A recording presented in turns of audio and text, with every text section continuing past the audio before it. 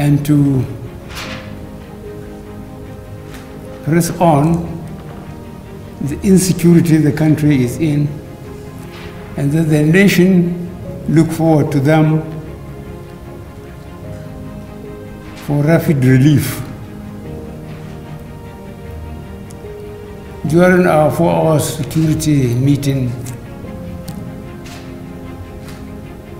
I have taken the responsibility as Commander-in-Chief for you to go out into the field and secure the country. I have accepted responsibility for your actions in the field. It's up to you to identify your competent officers,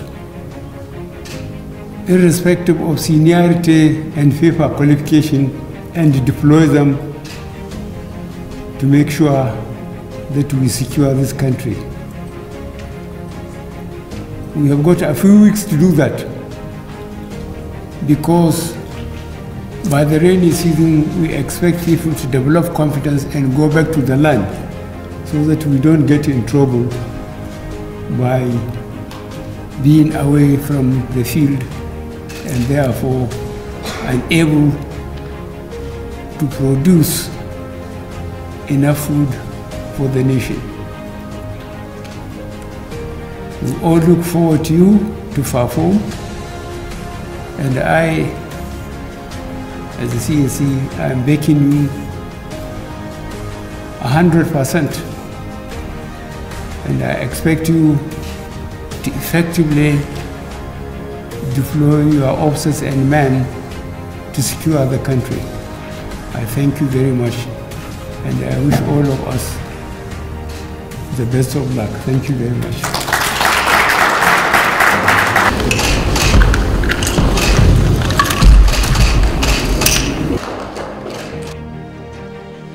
Mr. President, I'm highly delighted and honored this morning to be before you, having been decorated with my new rank of General,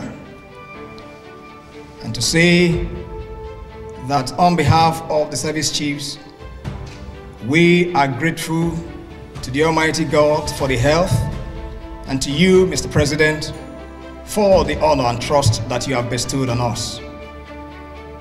Let me, on behalf of the service chiefs, inform Mr. President that the mandate which you've given us is very clear, which is to do everything possible to address all the security challenges facing us as a nation. We know that the inevitable, and which of course I'd like to use this opportunity to present to Nigerians, that the inevitable is that Nigeria will have peace again. Mr. President, on behalf of the service chiefs, I'd like to pledge the unalloyed loyalty of the members of the Armed Forces of Nigeria to you, Mr. President, and to the Constitution of the Federal Republic of Nigeria. We will, based on the mandate and the trust that you have bestowed on us, do everything in our power to address all issues appertaining to insecurity in the country, working in concert with other security agencies and of course the ministries, department and agencies in that regard. Let me once again thank you, Mr. President, for this honor and thank you, Nigerians. God bless you, sir.